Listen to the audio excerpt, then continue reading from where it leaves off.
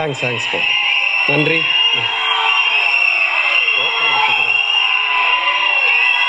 கண்டிப்பாக கண்டிப்பாக உங்கள் கூட ஃபோட்டோ எடுத்துகிட்டு தான் போவேன். ஓகே இங்கே இங்கே வருகை தந்துள்ள பத்திரிகை மற்றும் ஊடக நண்பர்கள் அனைவருக்கும் மேடையிலே அமர்ந்திருக்கும் என்னுடைய இயக்குனர் கே சிவகுமார் சார் இருந்து கூட நடிக்கிற artist and director Kalyan sir and இங்கே ரொம்ப நேரமாக நின்றுட்டுருக்க நம்ம ப்ரொடியூசர் அண்ட் ப்ரொடியூசர் கூட நின்றுட்டுருக்க தனஞ்சயன் சார் அனைவருக்குமே என்னுடைய வாழ்த்துக்கள் அன்று வணக்கம். அப்புறம் கே எஸ் ரவிக்குமார் சார் சொன்னாங்க தொடர்ந்து சந்தானம் வந்து காமெடி ஹீரோவாக தான் ட்ரை பண்ணி போயிட்டுருக்காரு. அப்படின்னு அதுக்கு முக்கிய காரணமாக இருக்க என்னுடைய ரசிகர்கள். ஸோ ஒரு ஒரு எல்லாருக்குமே ஒரு பயம் வரும். பயம் வரும்போது நமக்கு பின்னாடி யார் இருக்கா? நம்ம என்ன பண்ணுறோம் கரெக்டாக போயிட்டு இருக்கோமா நம்மளை தாங்கி பிடிப்பாங்களா? விட்டுருவாங்களான்னு ஒரு பயம் வரும்பொழுதெல்லாம் என் கூட இருந்து எனக்காக கரெக்டாக பண்ணிகிட்ருக்கீங்க ஸோ உங்கள் எல்லாருக்கும் அதை தலைமை தாங்கிட்டு இருக்க எம் எம்கேஎஸ் குமரவேல் அவர்களுக்கும் என்னுடைய நன்றி. லவ் யூப்பா எயிட்டிஸ் பில்டப் இந்த படத்தோடைய டைட்டில் ஆக்சுவலாக நான் இவர் நம்ம ஸ்டூடியோ கிரீன் ஞானவேல் சார் தான் டைட்டில் வச்சுருப்பாங்கிறது அப்படின்னு நினச்சேன் நான். ஏன்னா எயிட்டிஸ் பில்டப்ன்ற டைட்டில் கொஞ்சம் நல்லா தான் இருக்குது ஏன்னா இப்போல்லாம் நீங்கள் படங்கள் பார்த்தீங்கன்னா இப்போ வர நிறைய படங்களில் எயிட்டிஸ் பாட்டை போட்டு ஹீரோ பில்டப் பண்ணுறாங்க நம்ம எயிட்டிஸில் படம் எடுத்து அதுக்கு ஏன் பில்டப்னு டைட்டில் வைக்கக்கூடாது அப்படின்னு கூட யோசிச்சிருப்பாரு. ஏன்னா கொஞ்சம் அந்த மாதிரி ஆள் தான் அவர். ஸோ ஞானவேல்ரா சாரை பற்றி நான் சொல்லணுன்னா நான் அவர் அண்ணான்னு கூப்பிடுவோம் அவர் என்ன அண்ணான்னு கூப்பிடுவார். நாங்கள் அந்த ஒரு கோயம்புத்தூர் ஸ்லாங் மாதிரி பேசிப்போம். அண்ணா அப்புறங்கண்ணா அப்படின்னா அவர் அண்ணா சொல்லுங்கண்ணா அப்படின்னுவார். அவர் சொன்ன மாதிரி என்னுடைய லைஃப் சினிமாவில் ஆரம்பித்ததும் அவருடைய லைஃப் சினிமாவில் ஆரம்பித்ததும் ஒரே டைம் பீரியட் தான். அவர் சொன்ன மாதிரி அந்த ஒரு ஃபஸ்ட்டு படஜிலின்னு ஒரு காதலில் நாங்கள் ஸ்டார்ட் அப் பண்ணோம். அப்போது நாங்கள் நிறைய பேசிக்கிட்டு இருந்தோம் நிறைய விஷயங்கள் பண்ணிகிட்டு இருந்தோம். அதுக்கப்புறமா நான் டே பேஸில் சம்பளம் வாங்க ஆரம்பித்தேன் நாள் கணக்கில் சம்பளம் வாங்கிட்டு இருந்தேன். அதுக்கப்புறமா ஒரு ஒரு குறிப்பிட்ட டைமுக்கு அப்புறம் நாள் கணக்கிலே கொஞ்சம் அதிக சம்பளம் வாங்க ஆரம்பிச்சிட்டேன். அப்போ அவர் என்னை கூப்பிட்டாரு. கூப்பிட்டுட்டு அண்ணா அப்புறங்கண்ணா அப்படின்னாரு. சொல்லுங்கண்ணா என்னங்கண்ணா? அப்படின்னா இது மாதிரி நான் படம் பண்ணலான்னு இருக்கோண்ணா இந்த மாதிரிண்ணா அப்படின்னாரு. சரிங்கண்ணா அப்படின்னா டே பேஸ்லாம் விட்டுருங்க. இது இடம் வாங்கியிருக்கீங்களாண்ணா? சொல்லி கேட்டார். இடம் இன்னும் எதுவும் வாங்கலைண்ணா. எங்கண்ணா? அப்படி தானே போயிட்டுருக்கு. அப்படின்னா அண்ணா முதல்ல இடம் வாங்கிதுன்னா ஒன்று போடுங்கண்ணா அப்படின்னாரு. எங்கண்ணா காசு மொத்தமாக வருதுண்ணா? ஒன்று பண்ணுங்கண்ணா. என்னன்னு இப்போ நம்ம படம் பண்ணுறோன்னா மூணு படம். மூணு படத்துக்கு டேட் பேசிஸ் வேணாம். படத்துக்கு மூணு படத்துக்குன்னு ஒரு அமௌண்ட்டு இந்தாங்க ஃபிஃப்டி பர்சன்ட் அட்வான்ஸ் போய் இடம் வாங்குங்க அப்படின்னாரு. உடனே நான் பார்த்துட்டு எவ்வளோண்ணா தருவீங்க என்ன இவ்வளோ தரங்கண்ணா அப்படின்னாரு. உடனே யோசிச்சேன் ஆமாம் இடம் வாங்கிடலாமே நம்ம விட்டு விட தானே போகுது அப்படின்ட்டு. இருங்க நான் ஒரு நாள் டைம் கொடுங்கண்ணா சொல்லிட்டு யோசிச்சுட்டு அப்புறம் திருப்பி நான் வந்து அவரை பார்த்தேன். ஆனால் இப்போ நீங்கள் கொடுக்குற அமௌண்ட் வச்சு நான் இந்த இடம் வாங்குவேன். ஆனால் நான் டே பேஸில் காசு வாங்கினா இந்த மாதிரி மூணு இடம் வாங்கணும்ண்ணா அப்படின்னேன். உடனே சிரிச்சாரு. அது கரெக்டு தாங்கண்ணா ஆனால் அதுக்கு ஒரு இன்னொரு விஷயம். நீங்கள் டே பேஸில் மூணு இடம் வாங்கினாலும் பிச்சு பிச்சு பிச்சு பிச்சு தான் வாங்கணும். அதெல்லாம் நீங்கள் சேர்த்து வச்சு வாங்கவே முடியாதுண்ணாரு அப்போ அவர் சொன்ன டீலிங்கும் என்னோட டீலிங்கும் ஒத்து போச்சு. அப்போ நான் மூணு படத்துக்கு அலெக்ஸ் பாண்டியன் அண்டு ஆலினா அழகராஜா இன்னொரு படம் சிங்கம் டூ நினைக்கிறேன். எனக்கு ஒரு பெரிய அமௌண்ட்டு uh, எனக்கு ஃபிஃப்டி பர்சன்ட் அமௌண்ட் ஒரு அட்வான்ஸாக கொடுத்தாரு. அப்போ தான் நான் முதல் முதல்ல ஒரு இடமே வாங்கினேன். ஸோ என்னென்னா ஆஸ் எ ப்ரொடியூசராக தானும் எப்படி பயனடைய முடியும்? அதே டைமில் நம்மளை நம்பி வரவங்களையும் எப்படி சரியான ரூட்டு கைட் பண்ணி கொண்டு போக முடியும் அப்படின்ற ஒரு பயங்கரமான ப்ரொடியூசர் ஒரு ரொம்ப ஞானமுள்ள ஒரு ப்ரொடியூசர் வந்து ஞானவேல் ராஜா சார் அவர்கள்.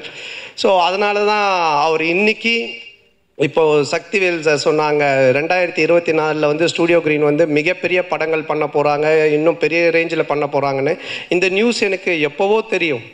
ஏன்னா இவரெல்லாம் வந்துட்டு சாதாரண ஆள் கிடையாது. ஒன்று பிளான் பண்ணி கரெக்டாக பண்ணாருன்னா அது ரொம்ப பெஸ்ட்டாகவும் சூப்பராகவும் தான் பண்ணுவார். நாங்கள் நடுவில் எனக்கு சில படங்கள்லாம் வந்து சரியாக போகாத போது வீட்டுக்கே வந்திருக்காரு. காலைல வீட்டுக்கே வந்துடுவார் ஸ்ட்ரெயிட்டாக வந்துட்டு என்னங்கண்ணா என்ன ஆச்சு என்ன பெரிய போயிட்டோம் இல்லைண்ணா கொஞ்சம் இவ்வளோ பிரச்சனைங்க இருக்குது இந்த மாதிரி சரியாக போகலன்னும் போது எனக்கு ஒரு ஐடியா கூட சொன்னார். ஆனால் இது மாதிரி ஹீரோவாக மூணு படம் நம்ம ஒரு விஷயம் பேசி ஒரு இது பண்ணி கூட ஃபுல் அமௌண்ட் வாங்கி எல்லாத்தையும் இது பண்ணிவிட்டு கிளியர் பண்ணிட்டு நீங்கள் ஜாலியாக ஒர்க் பண்ணுங்க. நான் பார்த்துக்கிறேன் அப்படின்னு சொன்னார். அப்புறம் அதையும் டிஸ்கஸ் பண்ணோம். அப்புறம் அவரே சொன்னார்ல நான் இந்த படம் இவ்வளோ போயிருக்கேன் அதனால் இந்த மாதிரி பண்ணலாம் அப்படின்னார்.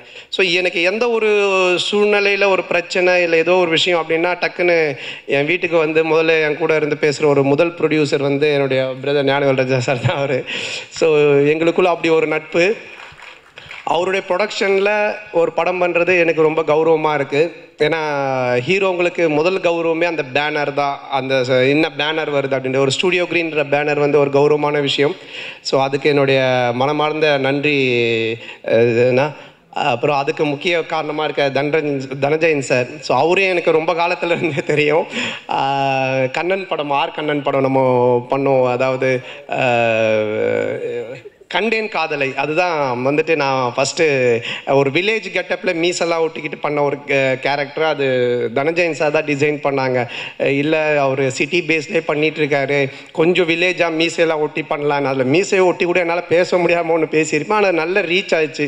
ஸோ இந்த மாதிரி ஒரு படம் அப்படின்னா அதை டிசைன் பண்ணுறதை விட அந்த கேரக்டரைசேஷன் அந்த ஸ்கிரிப்ட் அதில் இன்வால்வ் ஆகி ஒர்க் பண்ணுற ஒரு டைரக்ஷன் அறிவும் கொண்டவர் தான் தனஞ்சயன் சார் ஸோ அவர் ஒரு பக்க ஆர்வமாக இருக்காருன்னும் போது கண்டிப்பாக இந்த studio green two thousand twenty ஃபோரில் மிகப்பெரிய ஆல்ரெடி பெரிய நிறுவனம் தான். இனி ஒரு ரூல் பண்ணக்கூடிய ஒரு நிறுவனமாக வந்து நிற்குன்றதுல எந்த டவுட்டுமே இல்லை. ஆகிய என்னுடைய வாழ்த்துக்கள் சார் அப்புறம் இந்த படத்தினுடைய இயக்குனர் கல்யாண். அவர் என்னென்னா வந்து என்கிட்ட டேட் கேட்டுக்கிட்டே இருப்பார். நான் சொன்னேன் இல்லை சார் நான் அடுத்த படம் பண்ணுறேன் அடுத்த படம் பண்ணுறேன் என்கிட்ட டேட் இல்லை சார் அப்படின்னு சொன்னேன். அப்போது ஒரு ஒரு கேப் கிடச்சிது எனக்கு சார் நானே ரொம்ப நாள் கழித்து ஒரு பதினஞ்சு நாள் தான் சார் கேப் எடுத்திருக்கேன் அப்படின்னு சொன்னேன். அப்போ வாங்க சார் டாக்கியை முடிச்சிடலான்னாரு. டாக்கியை முடிச்சிருவீங்களா? என்ன சார் பேசுகிறீங்க அப்படின்னு. இல்லை சார் அதில் நம்ம மேக்ஸிமம் டாக்கி என்னவோ அதை முடிச்சிக்கலாம் மற்றதெல்லாம் நம்ம அப்புறம் பண்ணிக்கலாம் அப்படின்னு ஒரு எனக்கே ரொம்ப ஆச்சரியமாக இருந்துச்சு. ஷார்ட் பீரியடில் அதாவது ஒரு இருபது நாள் ஒரு ஷெட்யூல் போகிறது முன்னாடி டிஸ்கஸ் பண்ணுவாங்க ஒரு படத்தை பற்றி ஆனால் இங்கே என்னன்னா இருபது நாளில் எப்படா படத்தை முடிச்சாங்கன்னு டிஸ்கஸ் பண்ணிட்டு இருக்காங்க கல்யாண் கிட்ட. ஸோ அந்த அளவுக்கு ஃபாஸ்ட்டு அது ஷூட்டிங் ஹவுஸா இல்லை பிக் பாஸ் ஹவுஸானே தெரியாது. சுற்றி கேமரா இருக்கும். எங்கே திரும்பினாலும் ஒரு கேமரா இருக்கும். ஸோ அவ்வளோ கேமரா வச்சுருப்பார். இப்போ ப்ரெஸ் மீட்டுக்கு வந்த கேமராவே கம்மி. நீங்கள் ஷூட்டிங் ஸ்பாட்டுக்கு வந்தால் தெரியும். இதை விட அதிகமான கேமரா வச்சுருக்காரு. இங்கே எதனா கேமரா எதனா வச்சு எடுக்கிறீங்களா சார் அவர் எப்படின்னா இந்த அன்னகொண்டா முட்டையில் கூட நம்ம ஆம்லெட் போட்டலாம் ஆனால் அவர் அவிச்ச முட்டையில் ஆம்லெட் போடுவார்.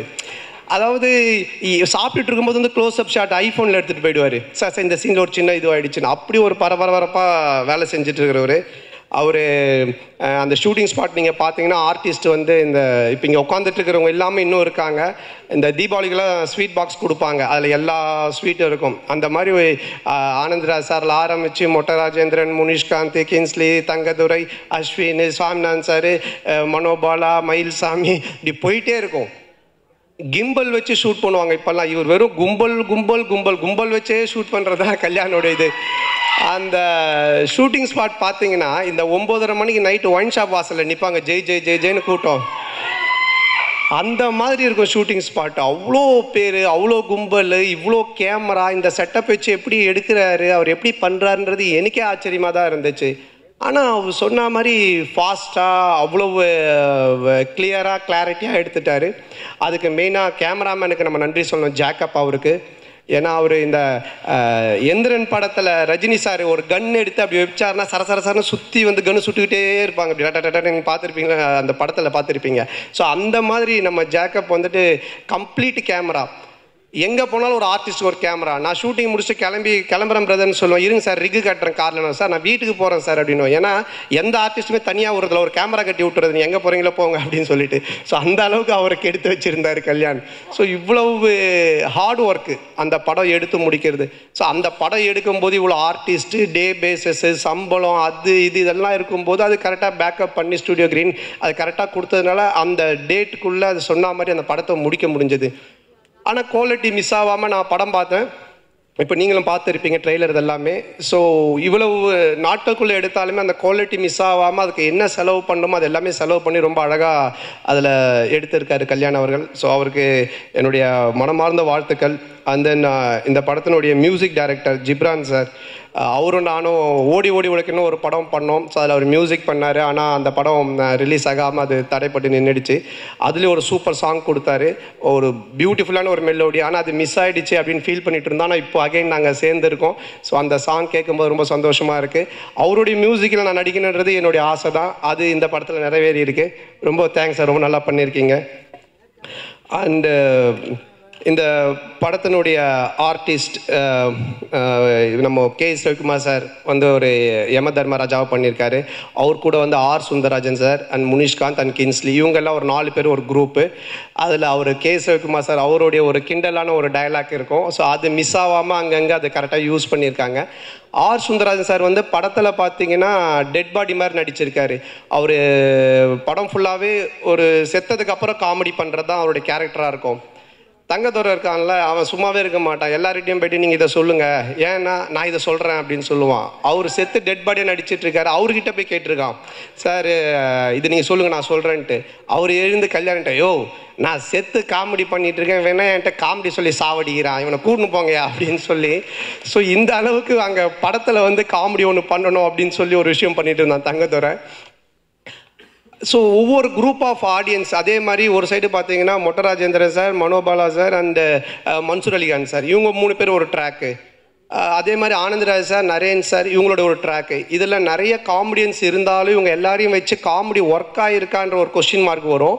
அதை கல்யாணம் அழகாக பண்ணியிருக்காரு. ஏன்னா அவருக்கு அது வந்து கை வந்த கலை. இது வரைக்கும் இவ்வளோ ஆர்டிஸ்ட்டை வச்சு அழகாக பண்ணதுனால அந்தந்த ட்ராக் அழகாக ஒர்க் ஆகிருக்கு அதில் எக்ஸ்பெஷலி ஆனந்தராஜ் சாரோடைய ப ட்ராக்கு அதான் நானே சொல்லுவேன். பாஷா படத்தில் ரஜினி சாரை கம்பத்தில் கட்டி வச்சு அடித்தவரை காட்டன் புடவை கட்ட வச்சு இடுப்பை காமிச்சு வச்சு ஒரே கலாட்டா பண்ணி வச்சுருக்காரு. அதில் கூட ஒரு டயலாக் நீங்கள் படத்தில் பார்த்தீங்கன்னா தெரியும். அவர் என்னோட அப்பா கேரக்டர் நிறைய சார் சொல்லுவார் சித்தி அழுவுறத பாருப்பான்னு சித்தியே பார்க்க முடியல. எங்கன்றா சித்தி அழுவுறத பார்க்கறது? அப்படின்னு சொல்லிட்டு.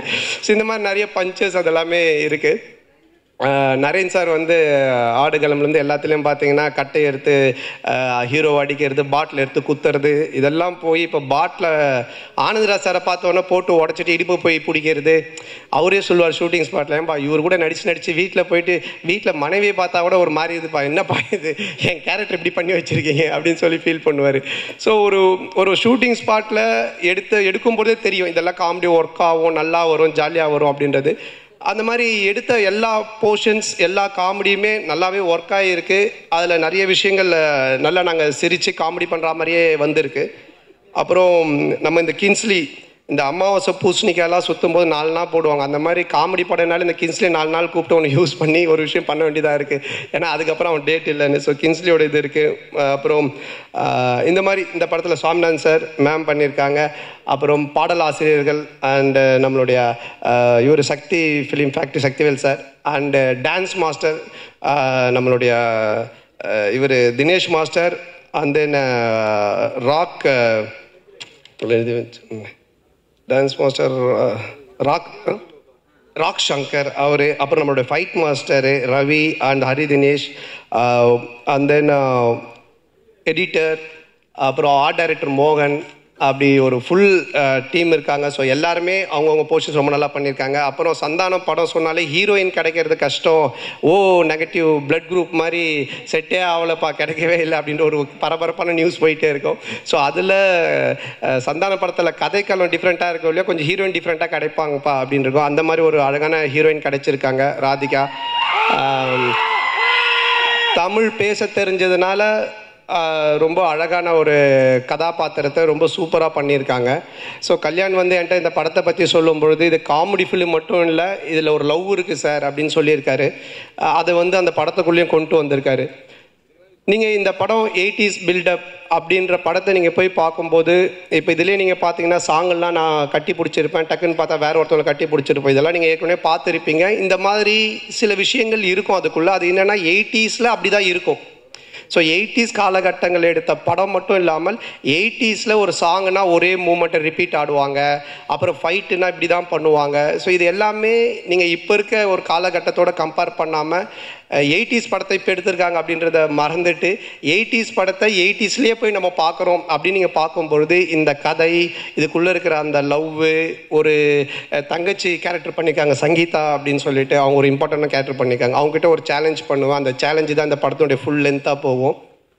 ஸோ இந்த படத்தில் வர காமெடி கதை க- இதோட ஸ்க்ரீன் ப்ளே இதோடைய எல்லாமே பார்த்தீங்கன்னா நீங்கள் எயிட்டிஸ் அப்படின்ற ஒரு ஒரு ஒரு காலகட்டத்துக்கு போய் இந்த படத்தை பார்த்தீங்கன்னா டெஃபினட்டாக உங்களுக்கு காமெடி இருக்கும். ரசிப்பீங்க. டூ ஹவர்ஸ் போர் அடிக்காமல் என்ஜாய் பண்ணிட்டு வருவீங்க.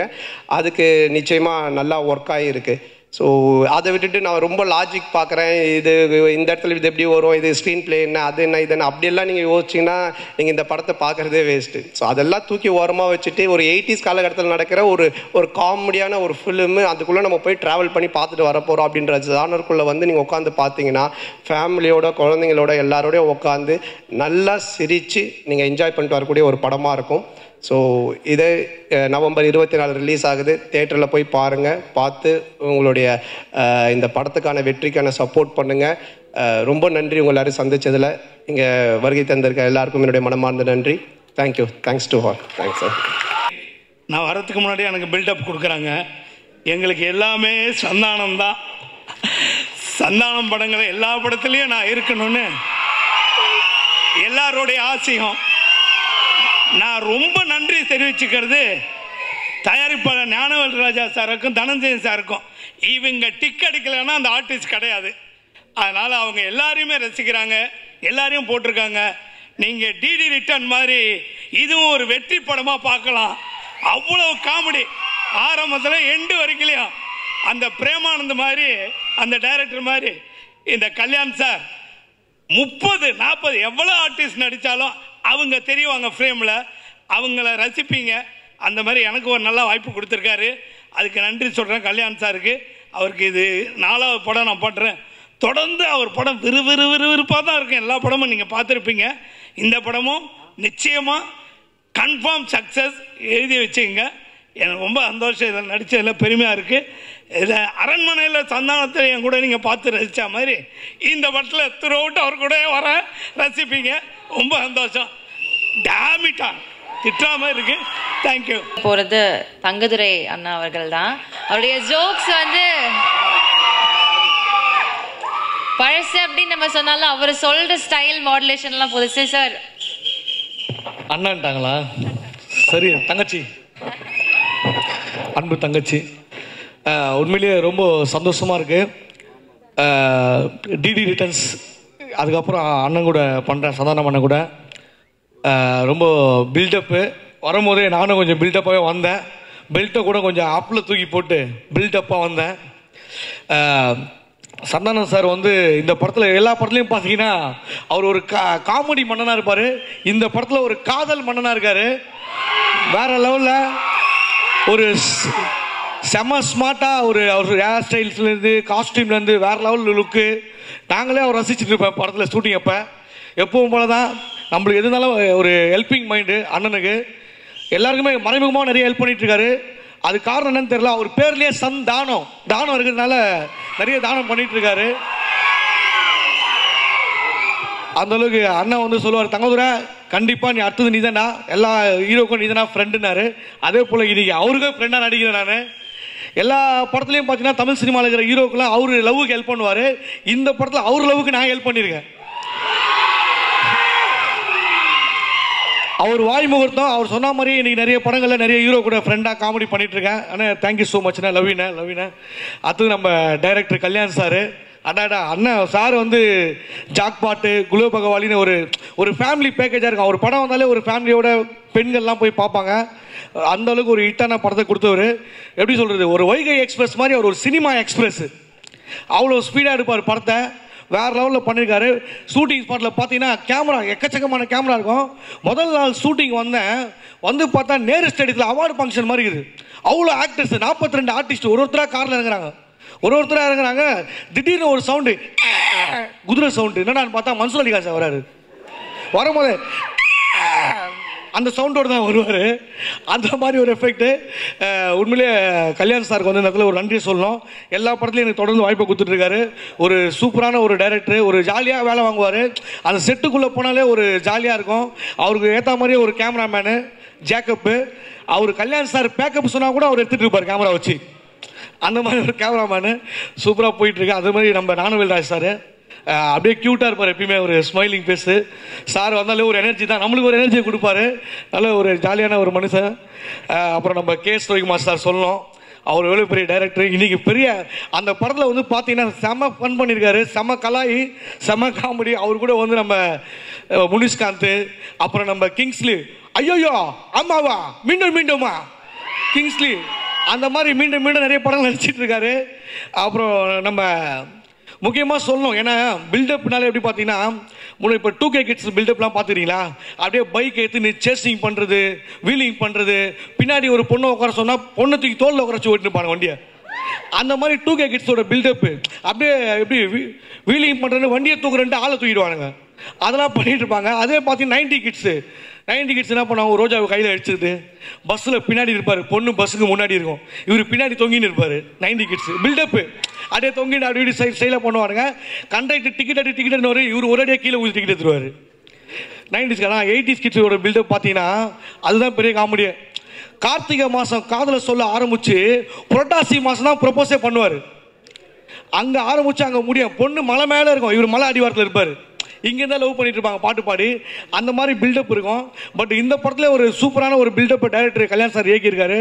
ஒரு ஜாலியான ஒரு பில்டப் இருக்குது இன்னும் சொல்லப்போனால் பார்க்குற பொண்ணெல்லாம் லவ் பண்ணால் அது டூ கே கிட்ஸு பார்க்காமே லவ் பண்ணால் அது நைன்டி கிட்ஸு பொண்ணே இல்லாமல் லவ் பண்ணுறதாங்க எயிட்டி கிட்ஸு அதை ஏன் சொல்கிறேன் நரேன் சார் இருக்கார்ல Naren sir Anandaraj sir love பண்ணுவார். ஆனந்தராஜ் சார் இன்னைக்கு வந்து ஒரு ஹீரோயினாக இருப்பாங்க படத்தில். ஒன் ஆஃப் த ஒரு ஹீரோயின் ஆனந்தராஜ் சார் கண்டிப்பாக அடுத்த வருஷம் அவருக்கு பெஸ்ட் ஹீரோயின் அவார்டு கொடுப்பாங்கன்னு நினைக்கிறேன்.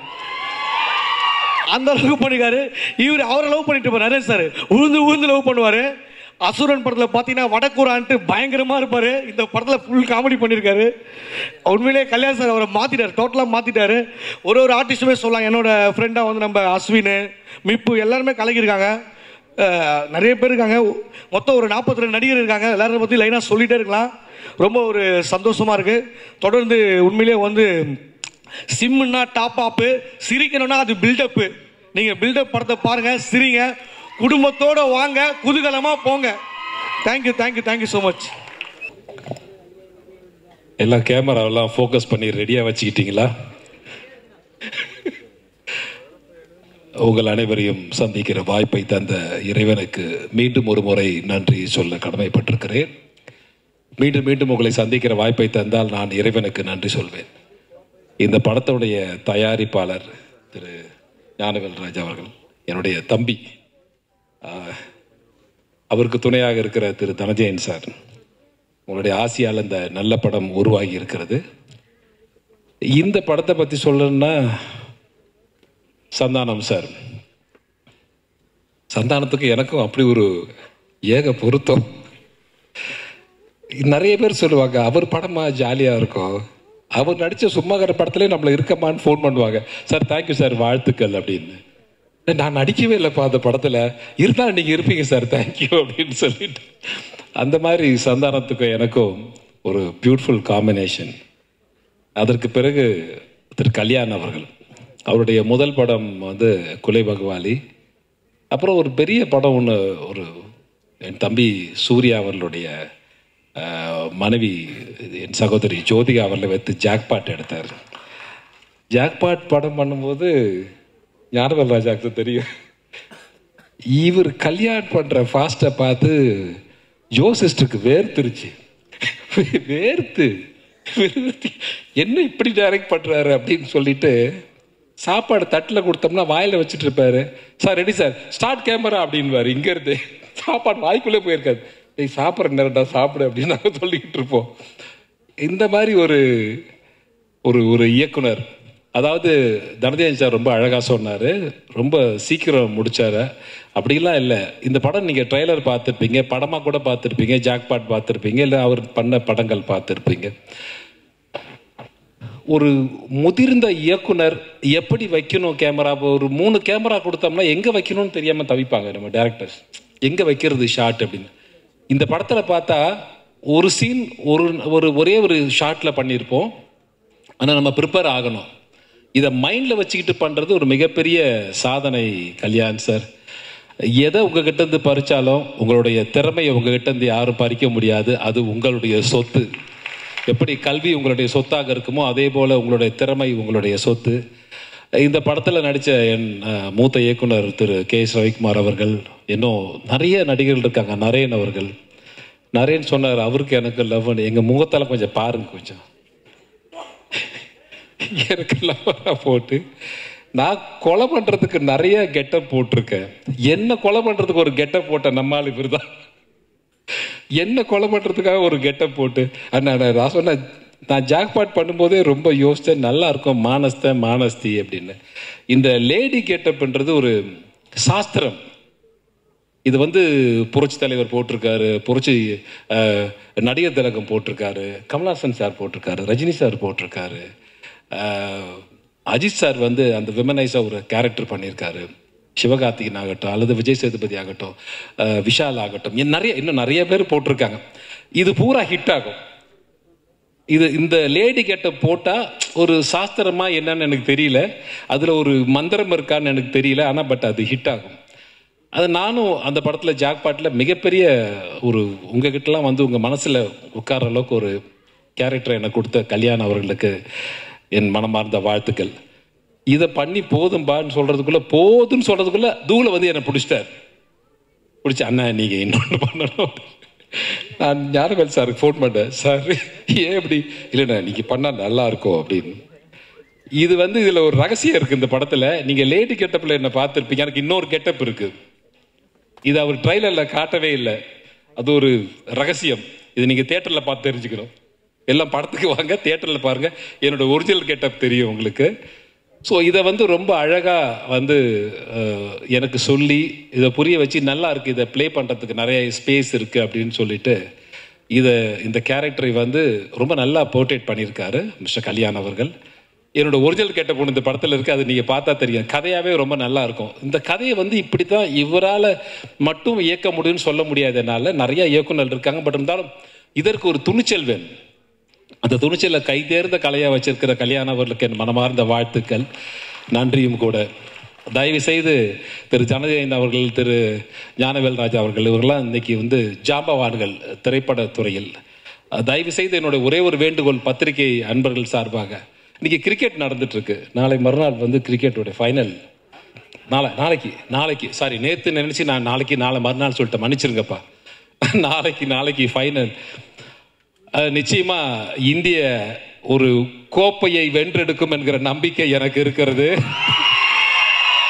இந்தியா வெல்ல வேண்டும் என்று என் மனமார்ந்த வாழ்த்துக்களை தயாரிப்பு நிறுவனம் சார்பாகவும் இயக்குனர் சார்பாகவும் ஹீரோ சார்பாகவும் என்னுடைய மனமார்ந்த வாழ்த்துக்களை இந்த டீமுக்கு இப்போ நான் சொல்லிடுறேன் இந்தியாவோட டீமுக்கு. இதில் இது நாளைக்கு நடக்கிற கப்பு வாங்குற இடம். இருபத்தி நாலாம் தேதி ஒரு கப்பு நாங்கள் வாங்க போகிறோம் டுவெண்ட்டி ஃபோர்த் ஒரு கப்பை நாங்கள் எடுக்க போகிறோம் அது வந்து மிகப்பெரிய வெற்றிக்கான ஒரு ஒரு மனசு வந்து பாரம் குறைவாக இருக்கிற ஒரு நேரம். இன்னைக்கு வந்து ரொம்ப பாரமாக இருக்கிற படம் பார்க்கறது அதுவும் நான் நடிக்க ஆசைப்படுறோம். அது வேறு விஷயம். பட் ஆனால் பாரம் குறைவாக உங்களை லைட்டாக கொண்டு போயிட்டு வந்துட்டு ஜாலியாக பண்ணுற ஒரு படம். இதை தயாரித்த தயாரிப்பு நிறுவனத்திற்கும் இயக்குனருக்கும் என் மனமார்ந்த வாழ்த்துக்கள்.